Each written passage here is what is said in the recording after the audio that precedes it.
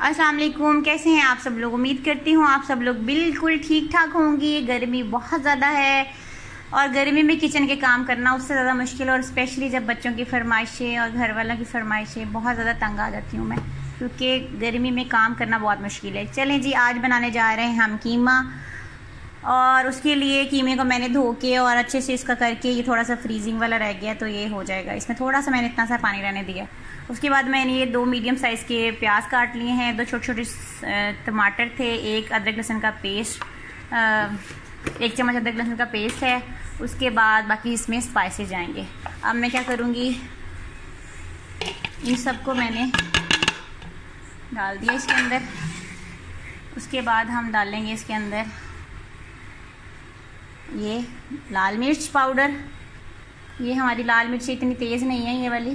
पता नहीं कहाँ से लाई है अम्मी तो ये जी दो चम्मच डल गए। उसके बाद इसके अंदर जाएगा हल्दी पाउडर।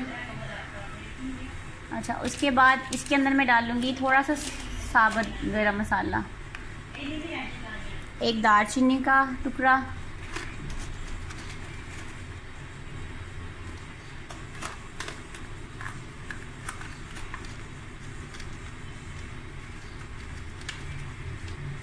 तीन से चार जो है वो लौंग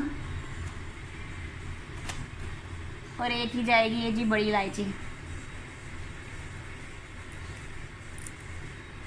ये बड़ी इलायची जाएगी इसके अंदर एक। और जाएगा इसके अंदर नमक। एक चम्मच जाएगा इसके अंदर भर के नमक का। अब हम इसको लगा देंगे प्रेशर कुकर और विसल बोलने के तकरीबन आठ से दस मिनट तक हम इसको बोलने देंगे उसके बाद हम इसका कुकर जो है वो फ्लेम बंद कर देंगे चूल्हा और उसके बाद इसकी जब तक विसल ख़त्म नहीं हो जाती, तब तक हम वेट करेंगे, उसके बाद इसकी विसल उतारेंगे और फिर आपको इसका दीदार करवाएँगे। ठीक है जी?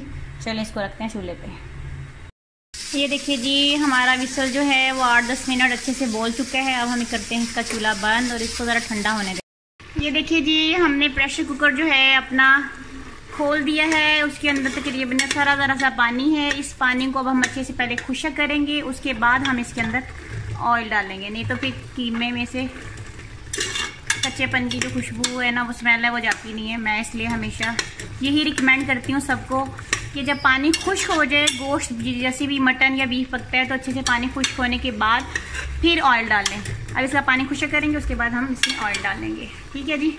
चलें। वेट करते हैं इसके पानी खुश्क होने का। देखें जी, इसका पानी जो है, वो बिल्कुल खुश्क हो गया है।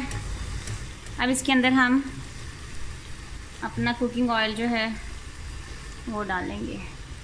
जितनी आपको चाहिए ज़रूरत, आप लोग अपने हिसाब से डाल सकते हैं। इसमें कोई क्वांटिटी की मकदार फ़िक्स नहीं है और जो लोग बिल्कुल ही नहीं जानते क्वांटिटी उनको चाहिए कि तकरीबन आधा पौना कप डालिए, आधा किलो कीमा था। आधा किलो से थोड़ा ज़्यादा ही होगा। ठीक है जी।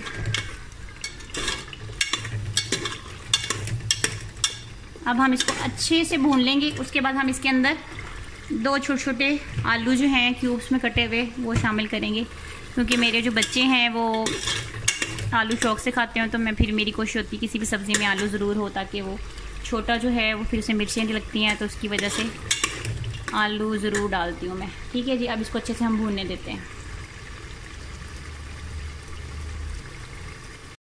ये देखिए जी, हमारा जो कीमा है, वो अच्छे से भून चुका है। ये मैं भूनते भूनते हरी मिर्च भी इसके अंदर हमेशा डालती हूँ। इससे ये कि खुशबू बहुत अच्छी आती है, हरी मिर्च की कच्ची कच्ची सी। और इसके अंदर अब जाएगा ये आलू। छोटे इसके क्यूब्स कर दिए मैंने। अब मैं इसको भी ज़रा भून लूँगी पाँच मिनट के लिए। फिर इसको हल्की सी, बिल्कुल ज़ीरो साइज़ की जो होती है, आँच, उस पर मैं इसको दम पे रख दूँगी। कोई पाँच सात मिनट के लिए। अब इसको हम पाँच मिनट के लिए भूनेंगे। इतनी गर्मी है। आप लोग कहते होंगे कि ये ना रोला डालती रहती है गर्मी का बट सच्ची में गर्मी बहुत ज़्यादा है। मुझे ज़्यादा लगती है। स्पेशली जब एसी के कमरे से निकल के किचन में आना होता है ना, उफ, पाँच मिनट में आपको होश टिकाने आ जाता है।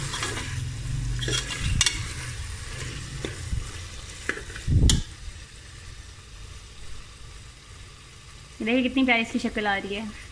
शक्ल ही नहीं इसके जो है ना कारनामे, वो भी बहुत मज़े के हैं।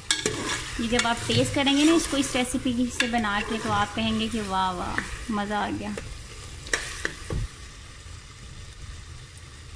अब इसको भून लें हम लोग, उसके बाद फिर हम आते हैं।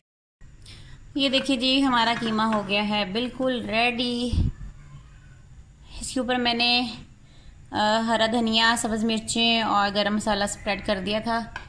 मैं एक्चुअली जल्दी में कहीं मैं बाहर जाना था तो मैं ये करके फ़ौरन फ़ौरन चली गई। तो ये देखें जी, ये कंप्लीट पक चुका है और बहुत ही मज़े की खुशबू आ रही है और अब हम इसको खाने जाते हैं। चलें जी नेक्स्ट वीडियो तक के लिए अल्लाह हाफिज़। अपना बहुत बहुत बहुत ख्याल रखिएगा, घरों में रहें, गर्मी से बच के रहें, कोरोना से बच के रहें। अल्लाह ताला आप सब लोगों को अपने हिफ्ज़ मान में रखें। आमीन।